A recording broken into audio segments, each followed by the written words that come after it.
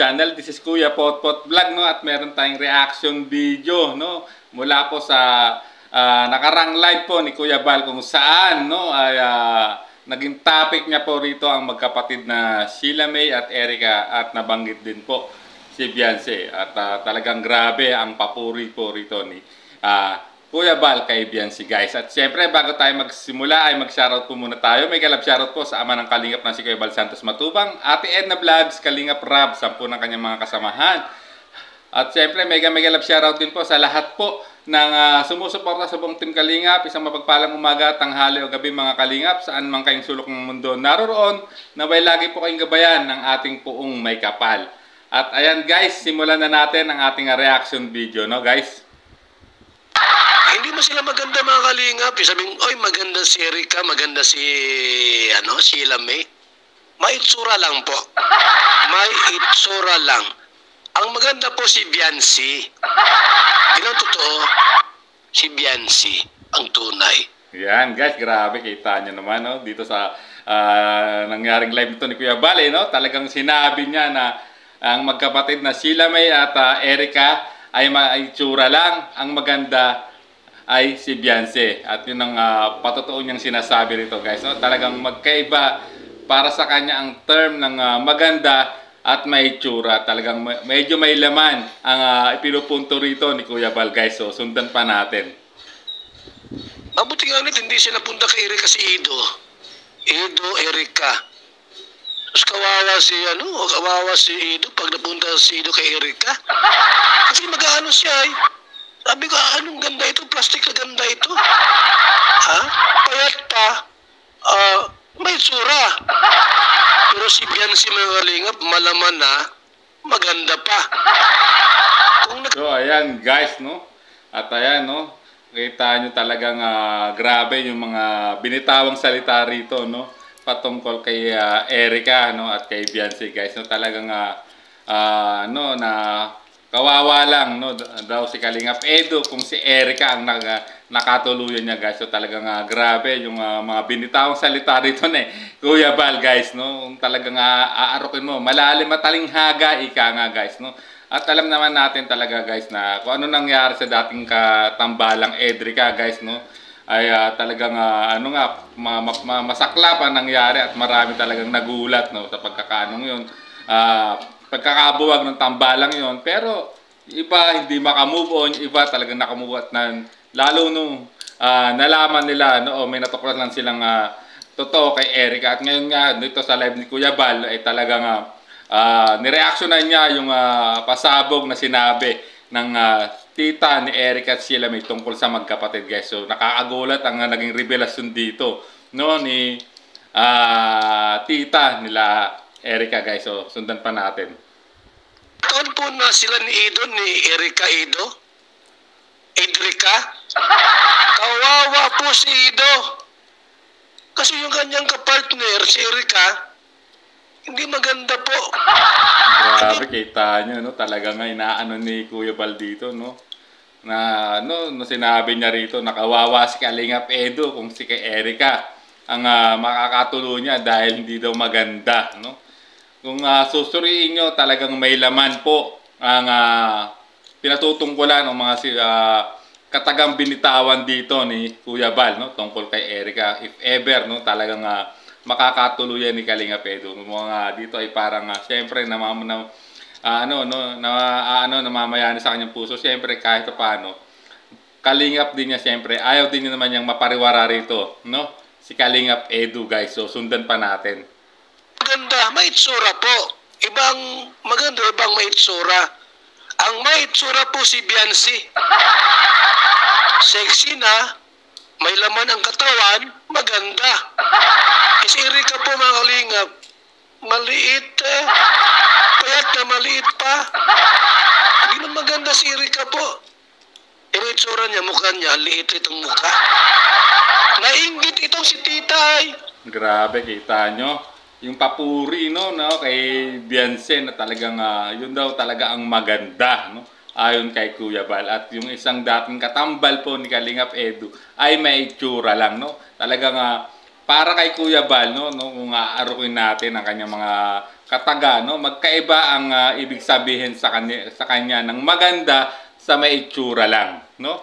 At totoo naman guys, no, kung uh, ito sa aking opinion guys, no, siyempre pag uh, ikaw no, iano natin sa uh, real life natin to, no guys, no, siyempre pag may nagtanong tayo, may makikilala, may, may, may kilala tayong babae, di ba tinatanong agad natin, maganda ba siya, no, sa isa, isa nating kaibigan, minsan pag sinabi, pag sinabing uh, may tsura lang, alanganin, ika nga, no, at hindi agad uh, dinidire, uh, dinirektang sinabi na maganda. So, Uh, parang ito yung pinapatungkulan no ni Kuya Bal dito no sa kanyang uh, reaction video po tungkol sa revelasyon po ng tita ni uh, Eric at uh, Sheila May no.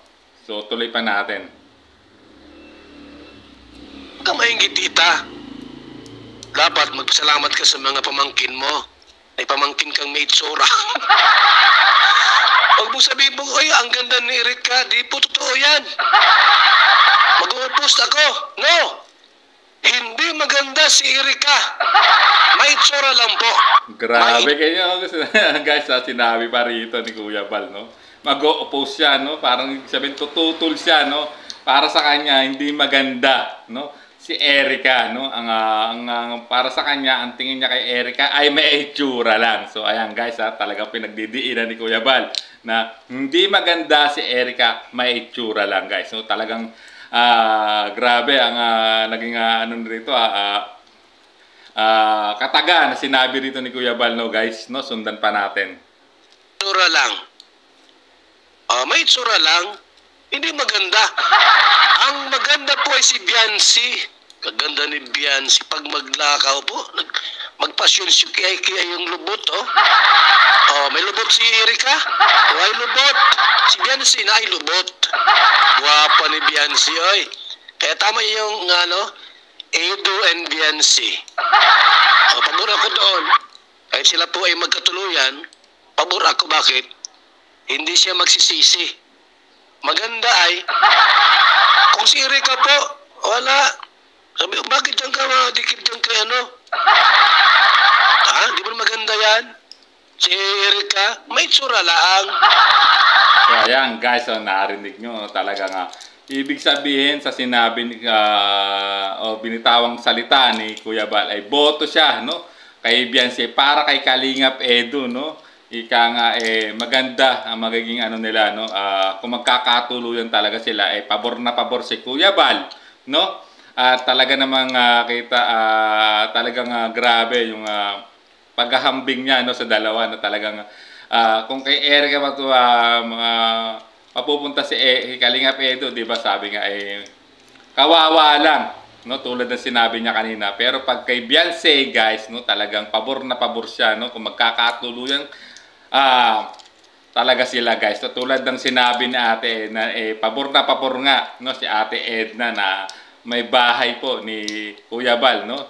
Kung uh, sakali magkatuluyan yung dalawa, no? Si Kalingap Edu at Beyonce guys. Grabe talaga nga. Kahanga-hanga ang uh, itong uh, karakter ni Beyonce no? Pinagpala atong batang to no? Isa sa ito ang uh, Kalingap Angel sa pinagpala. Grabe talaga. Kita nyo naman no? Marami nagmamahal at talagang botong-boto no?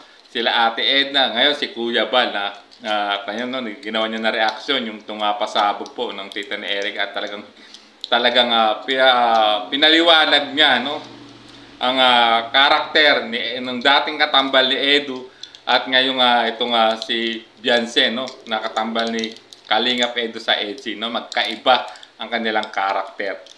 Si Erika ay may tsura lang at si Bianse ang totoong maganda. Ayon kay, kay Kuya Bal Santos Matubang guys so hanggang dito na lang ating reaction video no bago tayo tuloy magtapos guys no Siyempre, kung gusto niyo mapanood dito ang full video ng reaction video ni Kuya Bali, puntahan niyo po sa YouTube channel niyan. At siyempre, don't skip ads para mas makatulong kayo sa programa po ng Ama ng Kalingap, guys. At talaga, guys, no? At nakirinig niyo pa, no? Kung mapapanood niyo ito ng full video, no? Ito, uh, medyo singit lang. Talagang uh, sabi nga niya, no? Magnininong siya, no? Kung magkakatuloy yung itong dalawa, no? Sabi niya, no? Gusto niyang isayaw si Beyonce at gusto niya magninong. So, parang ibig sabihin talagang botong-boto rito, no? ah, kay Beyonce, no? Si Kuya Bal, no? Talagang ah, grabe. Ang masasabi ko lang talaga kay Beyonce ay sana all na lang pinagpapala at talagang kita nyo naman talagang marami nagmamahal, no? Talagang tanggap ng pamilya Matubang, no? Na na if ever na magkakatuluyan, no? Si Kalingap Edu at si Beyonce, guys. So hanggang dito na lang ating reaction video. At bago tayo magtapos ay mag-shoutout po muna tayo, no? Mega love shoutout po, no? Kina Tita Melba of Germany, Chris, ah, Ma'am Elena F. Rubio, Sir Chris UK, no? Maria Rexy, no? Ah, Ev- ah, Odette no? Ah, Ma'am Millie Chand, Ma'am Christina Damoking, ah, Amy Johansson, no? Team Lutang USA, Team Bulong, and Team Pambihira GC, ah, Team Pana, ah, EDC Team Panatag Official, no? Sa lahat po ng members ito. Siyempre, ganun din sa EDC Global Supporters, Kalinga Pedo Global Supporters, EDC Global Kegs, no? Edvian Lovable Supporters, no? Edo and Bianci uh, best friends, no? Kasi siyempre ganun din kay Tita Lydia Navida, no? At sa lahat ng individual na sumusuporta sa tambalang EDC, no? Sa lahat na nagmamahal sa kanila, mega mega love shoutout po sa inyong lahat at ganun din po, no? Sa lahat po ng ah, ilaw ng tahanan, no? Binabati ko po kayo ng happy happy Mother's Day po sa inyong lahat. So hanggang dito na lang po ang ating reaction video. Maraming maraming salamat po. Hanggang sa muli po nating reaction. There's a vlogger named Kuya Pot spreading good vibes, giving all he's got. With the camera in his hand, he hits the road, capture moments, sharing stories untold. Through your pot Pop, he's the one we adore, bringing smiles. He's got so much more in this crazy world. He's a ray of light.